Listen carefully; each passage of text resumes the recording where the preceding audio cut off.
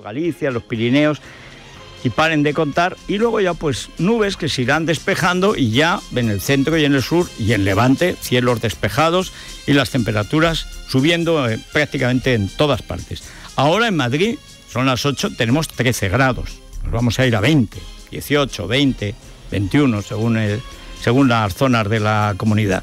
La máxima en Murcia y en Málaga, señal de que llega ya la primavera, la máxima no, ya no está en Canarias, 27 grados. Y la mínima, pues ahí está Teruel. Como Soria hizo el esfuerzo que hizo el mes pasado, pues a pobre ya no aparece en el pelotón del pasmo, pero ahí está el hermanico Teruel ahí dando la mínima, 2 grados. Es lo que hemos podido hacer, no hay más, es que hace calor casi. Mira usted, calor en Teruel. Hombre, yo estaba 20 bajo cero, o sea, con respeto.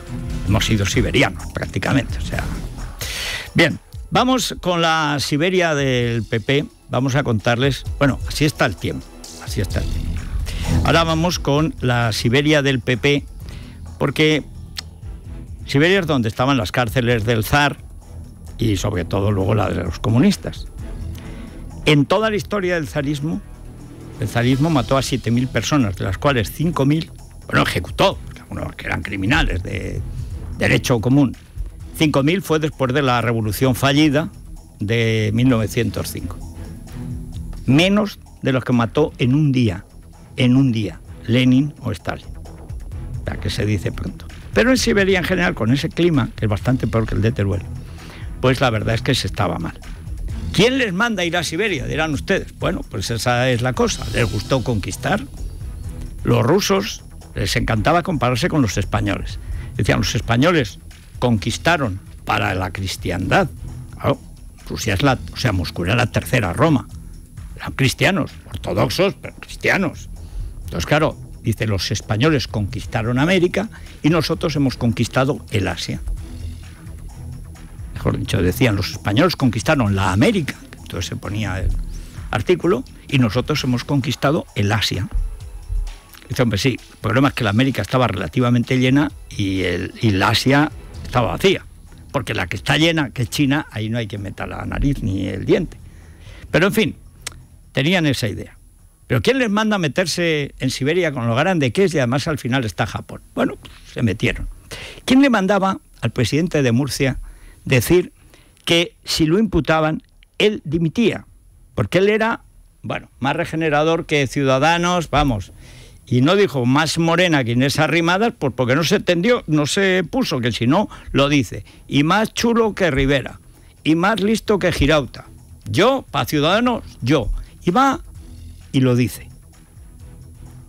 Pero es que mm, todo lo que está pasando, que se debe a la crisis del PSOE, a la posibilidad de elecciones anticipadas, y sí, estamos en esa tesitura, pues eh, se debe a esta promesa que hizo el señor Sánchez presidente de Murcia, del que no tengo ninguna mala opinión, excepto que cuando uno hace estas promesas en público, pues tiene que cumplirlas.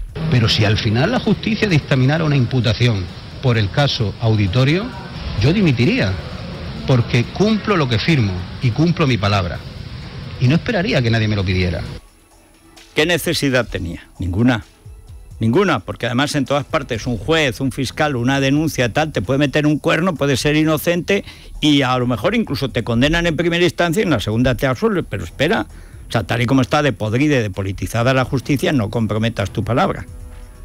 Es más, apoya a Ciudadanos en lo más importante, que es la despolitización del Poder Judicial, porque eso también traerá seguridad jurídica.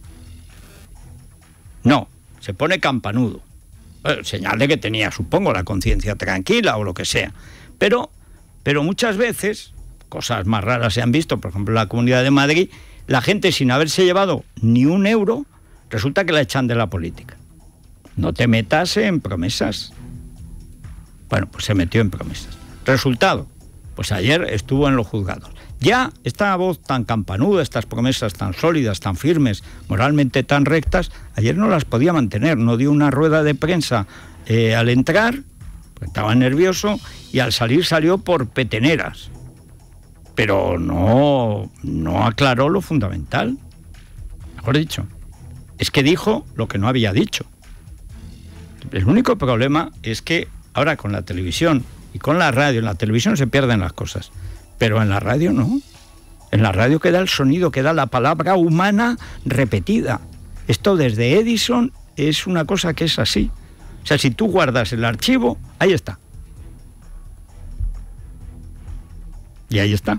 Bueno, vamos a ver, Javier, con Javier López Tofiño y Vanessa Vallecido, vamos a repasar lo que sucedió ayer en Murcia, que en realidad es el ensayo general, bueno, el ensayo particular, el ensayo general seguramente tendrá algún episodio más, de la ruptura de una mayoría que no llega siquiera a mayoría, el pacto de, de PP y Ciudadanos, porque la mayoría depende de la abstención del PSOE. Y el PSOE está, no es que esté hecho unos zorros, es que hay zorros, vamos, zorros que parecen, mm, vamos, martas vitelinas al lado de, del PSOE. Está, está tan mal el PSOE que hasta hay quien dice que la solución es, es Pachi López, es decir, que no hay solución. Bueno, pero vamos a Murcia.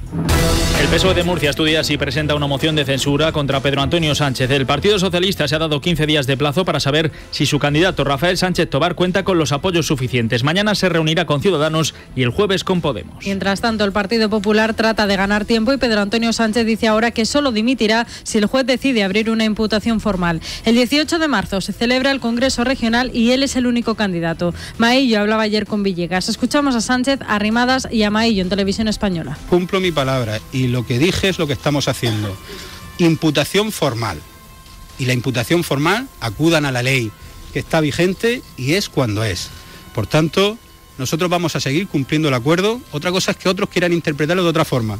Ellos sabrán por qué y con qué, y con qué estrategia. Si el Partido Popular tiene algo que esconder, si el Partido Popular prefiere siempre proteger a los imputados por corrupción que garantizar que su propio partido siga gobernando en Murcia, pues evidentemente nosotros tenemos la obligación de buscar soluciones y seguir garantizando la estabilidad, pero también la regeneración de Murcia. Todo el mundo sabe que nuestro límite es el juicio oral, en el, existan nuestros estatutos, o se echan brazos de Podemos y del Partido Socialista en Murcia. Y esa es una decisión que tiene que tomar Ciudadanos. Y yo creo que la pelota está en el tejado de Ciudadanos.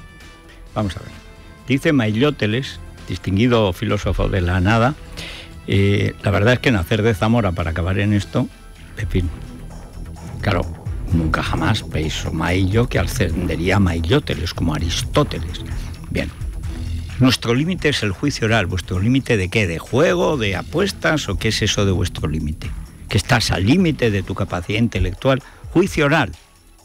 Imputación formal. Vamos a ver, ¿dónde dice juicio oral? ¿Dónde dice imputación formal el compañero Sánchez? Digo, el señor Sánchez. A ver, ¿dónde dice imputación formal y dónde dice juicio, oral? Pero si al final la justicia dictaminara una imputación por el caso auditorio, yo dimitiría. Es que no, es que dice imputación, ni formal, ni juicio oral, ni nada. Que no tenía por qué decirlo. De acuerdo, pero lo dijo. Lo dijo. O sea, encima no nos tomen por idiotas. Vamos, ya sabemos que nos toman por idiotas. Pero una cosa es que nos tomen ellos, otra cosa es que lo seamos. Lo dijo. Se comprometió él sin ninguna necesidad, hay que decirlo. Pero se ponen campanudos, se animan, se hombrean, tal, pues fíjate, pues yo, pues yo. ¿Es candidato único al Congreso? ¿Cuándo tiene lugar el Congreso? ¿En dos semanas? O... El día 18, la próxima semana. Pues fíjate, la próxima semana candidato único.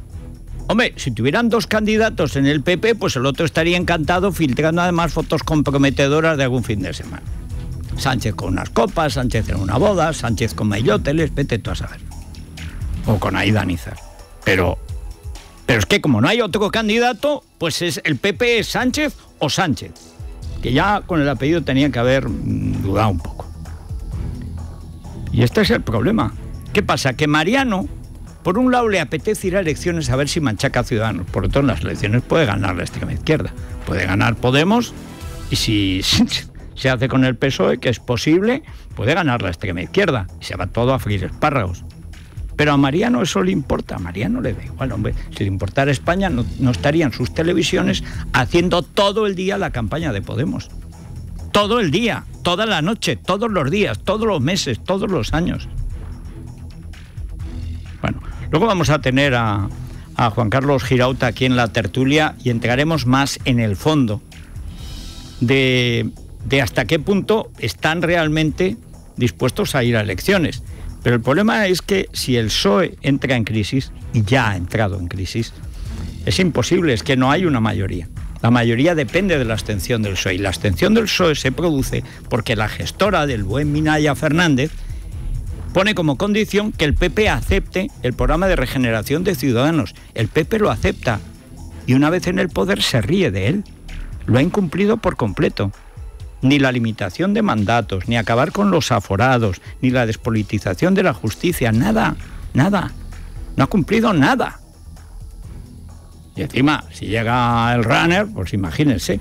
Bueno, pero ayer tuvo lugar y hay poca información al respecto, hay información, pero bueno, ahí eh, detrás de los medios donde nadie llega o casi nadie entra. Ayer tuvo lugar lo que probablemente fue el acta de defunción de la Unión Europea. Ayer se reunían, bueno, una cosa fantástica, publica hoy el auriga ideológico de Soraya, o sea, Cebrián, el que dice que España no existe. Vamos, que existe un poco desde 1812, pero prácticamente nada. O sea que todo lo que hicimos era, pues no sé, unos apátridas que se liaron ahí y, puf, hay que ver, ¿eh? Hay que ver la que hemos liado en el mundo, lo que hemos sido, sin ser nada, sin existir, de hecho. Bueno, pues Cebrián habla del núcleo duro. ¿Cómo que duro? Vamos a ver los cuatro que se reúnen ayer, el núcleo duro, lo oyes así y dices, Alemania, Francia, Italia y España. estamos todos.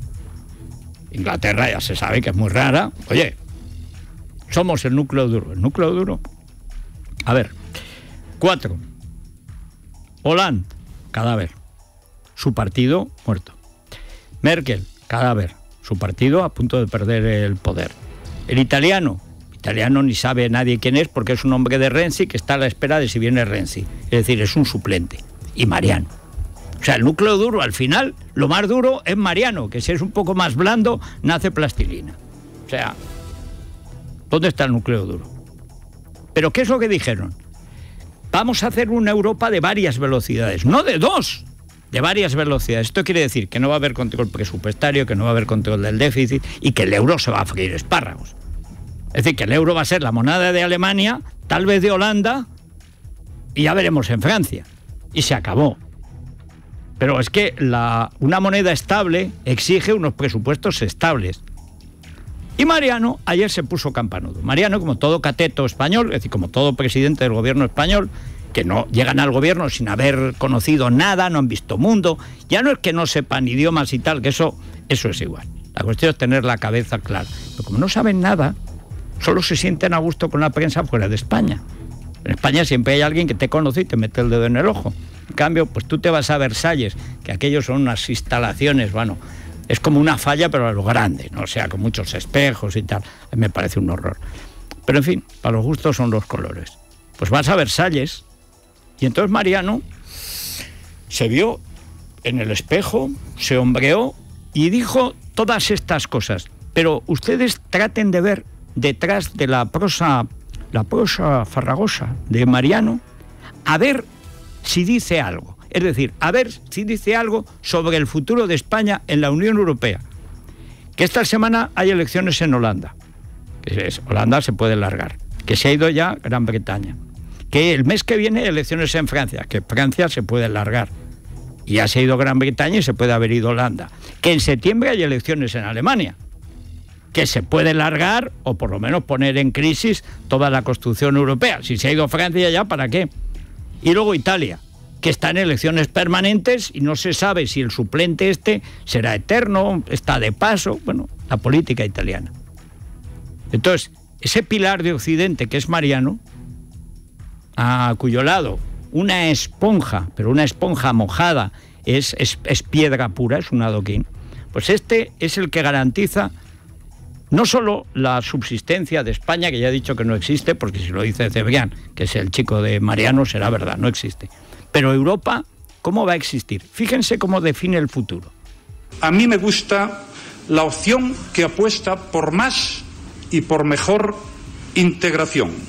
Creo que en este momento Europa debe mirar lejos porque cuando Europa ha mirado lejos es cuando ha vivido los mejores momentos de su historia. Y estoy también de acuerdo en lo que acabamos de oír aquí, España está dispuesta a ir más allá en la integración con todos aquellos que quieran seguir en la integración.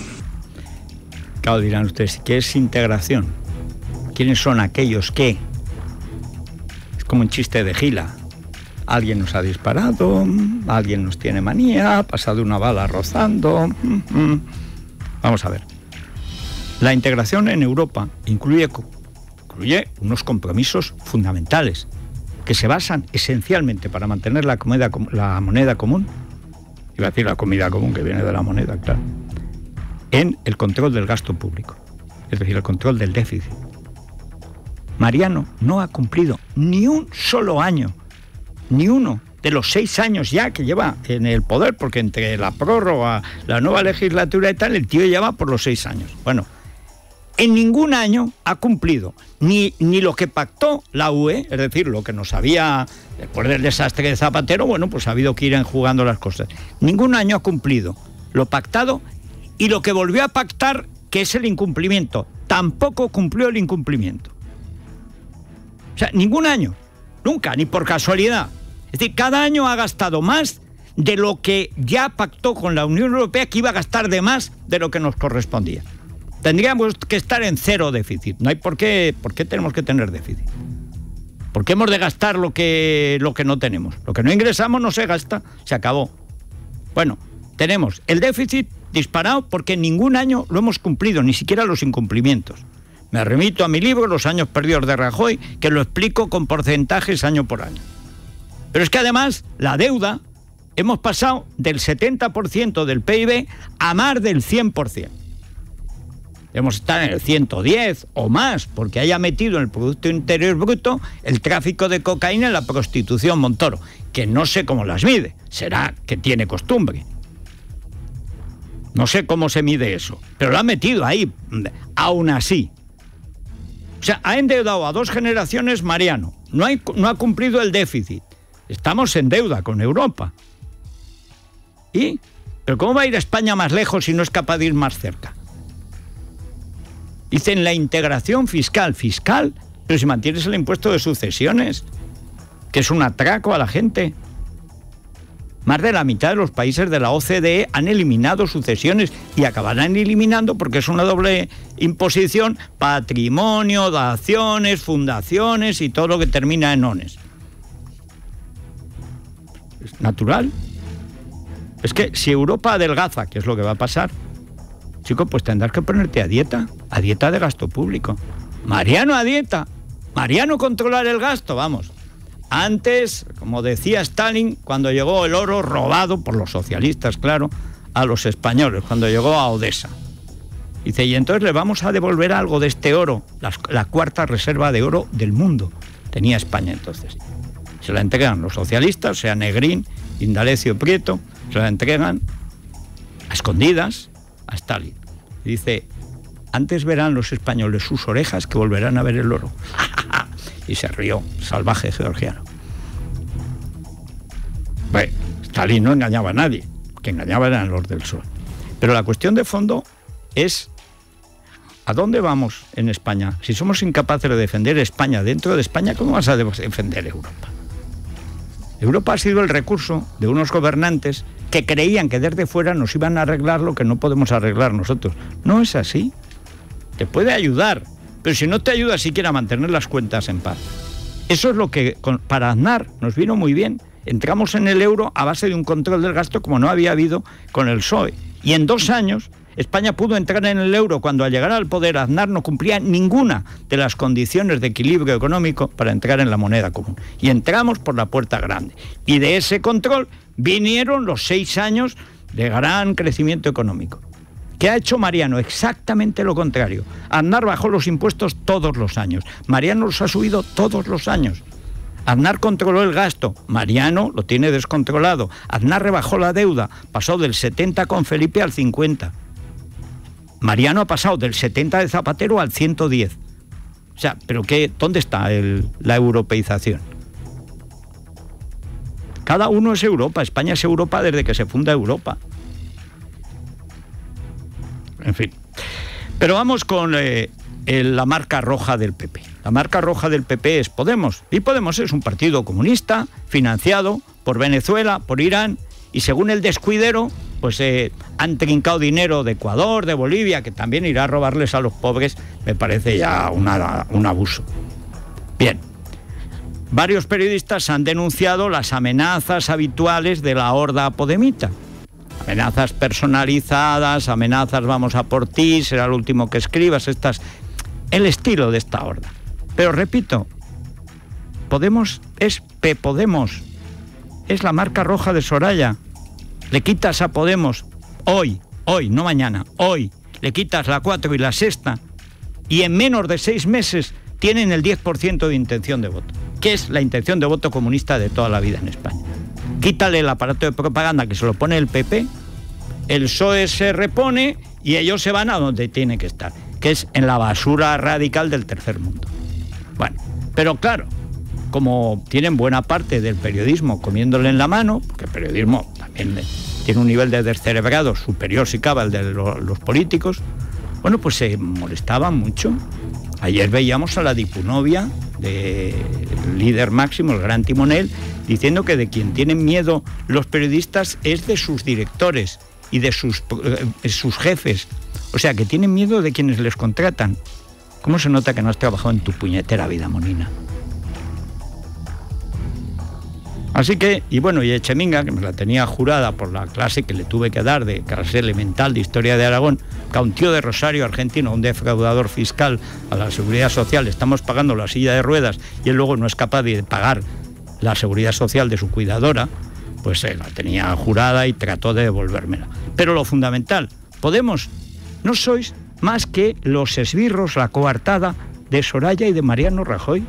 Sois los que hacéis el trabajo, el trabajo sucio que es frenar al PSOE como si no se pudiera frenar solo. Podemos evitar dar explicaciones tras la denuncia de la Asociación de la Prensa de Madrid en la que se les acusa de realizar una campaña de acoso contra periodistas. Desde el Partido Socialista, Mario Jiménez recuerda que Podemos nunca ha reaccionado bien ante las críticas. En Podemos, Juan Carlos Monedero dice que la Asociación de la Prensa usa expresiones de cuando ETA amenazaba y Pablo Echenique remete contra el director de este programa. Sorprendido y preocupado, porque es verdad que muchos hemos sentido el, cómo reacciona esa organización política, Podemos, a las críticas.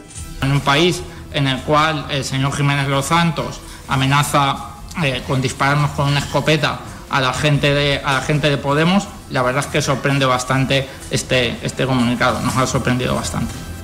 Bueno, yo no pertenezco a la APM, pero es que yo no he dicho eso nunca, por más que manipule, porque tú eres un pobre diablo, tú eres el bufón de Pablo Iglesias, tú eres un defraudador fiscal, eres un tío que viene a los 14 años de Rosario, Argentina, y gracias al dinero de todos los españoles, pues atendemos tu minusvalía. Y luego, tu, puesta de largo, si se puede decir, es cuando apareces con todo a tu, con tus jefes borrachos, tú haciendo de bufón y cantando Chúpame la minga dominga. Y luego quieres poner el catalán, inmersión en catalán para los niños aragoneses. Entonces tuve que darte una pequeña clase, porque yo sí soy aragonés. Yo no soy un exiliado económico de Rosario para venir a saquear el erario español, Echeminga. Dominga. Chenique roba. Es verdad que venías anunciándolo. O sea, lo menos que puede hacer alguien que vive de la seguridad social, de la seguridad social es pagar la seguridad social de su cuidador. Ya te pagamos nosotros el resto. ¿Alguien te ha amenazado a ti? Bonito, ¿quién te ha amenazado a ti? ¿Cuándo he dicho yo eso? Me da igual lo que digas. O sea, me da exactamente igual. Tu problema, Echeminga, es que eres un analfabeto funcional. Y tú, como representante de la izquierda en Aragón, das ganas de vomitar, porque la izquierda de Aragón, que yo he conocido, que tú no, porque tú estabas siendo un cigoto todavía en Rosario, en Argentina, porque eres un argentino y no eres un español, ni eres un aragonés, porque no lo eres, no sabes la historia de España, desprecias a España como toda tu patulea. La izquierda aragonesa la he conocido yo, la de la clandestinidad, la del Pece, la de Cazcarra, la de la Bordeta, esa la he conocido yo. Vosotros no erais nada. Los españoles, niños de papá. Y tú, un chico de Argentina que vino de descuidero a trincar la pasta de la seguridad social. ¿Qué es lo que eres, Echemín?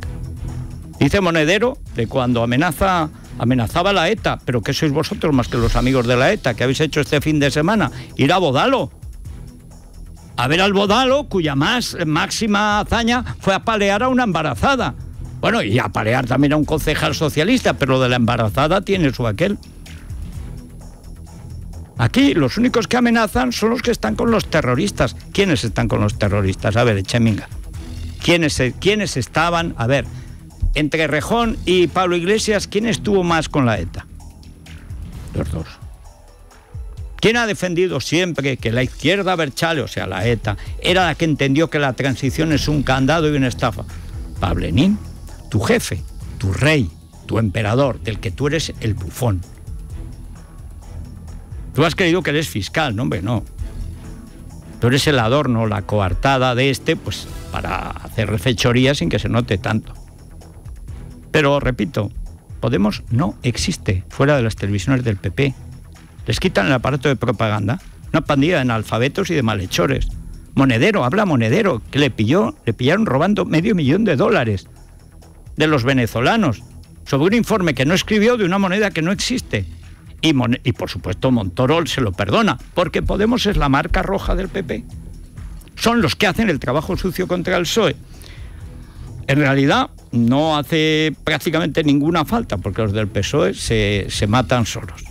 Bueno, em, ah, por cierto, eh, también apoyan a los separatistas catalanes. Y los separatistas catalanes, apoyados por Podemos, pues tienen la zarabanda habitual. Se pasan la vida en los juzgados. Estos también sí que tienen instalado un régimen de terror en el periodismo en Cataluña. Lo que pasa es que los primeros son los propios colegios de periodistas de Cataluña los que extienden e implantan el terror. Cuando la COPE era la COPE y no la SER 2, pues eh, entonces, pues eh, hombre, me lo van a contar a mí. Menuda gentuza. O sea, los peores separatistas, los periodistas.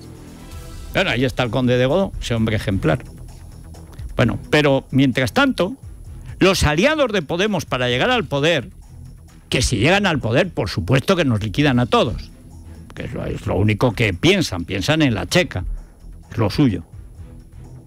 Lo que quiere ser eh, Cheminga Dominga es Fouquier Tinville, que no sabe ni quién es tampoco.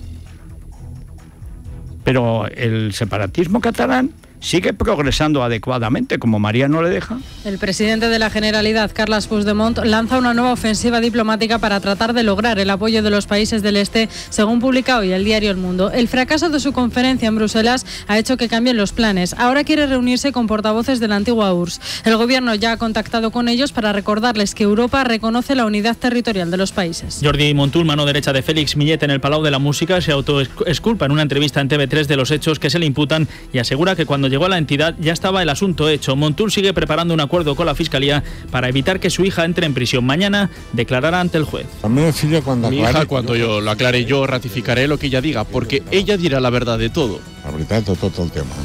Eh, como no sabe lo que va a decir, dice yo diré lo que diga ella, no sea que... Bueno, y por último, vamos a ver, ¿por qué Podemos no pide que cierren la ETV?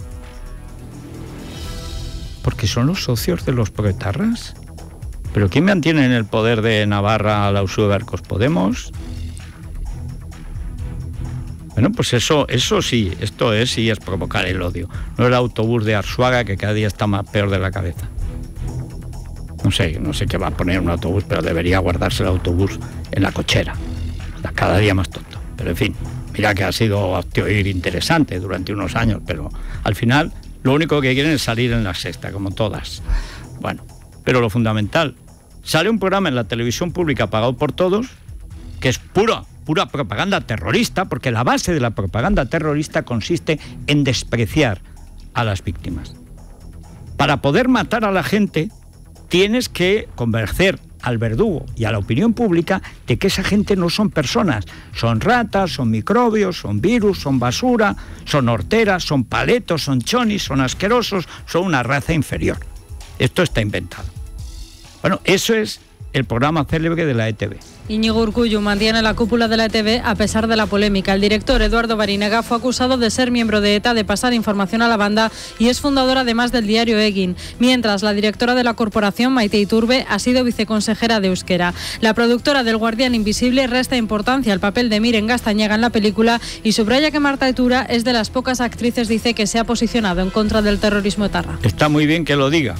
Tan pocas, tan pocas que cuentas con los dedos de una mano y te sale Marta Etura pero como es la actriz principal, no la figurante, pues bueno, esta película por lo menos tiene a alguien que está no, no contra la ETA antigua, no, no, contra la actual, contra Otegui. ¿Está Podemos contra Otegui? ¿O está con el terror?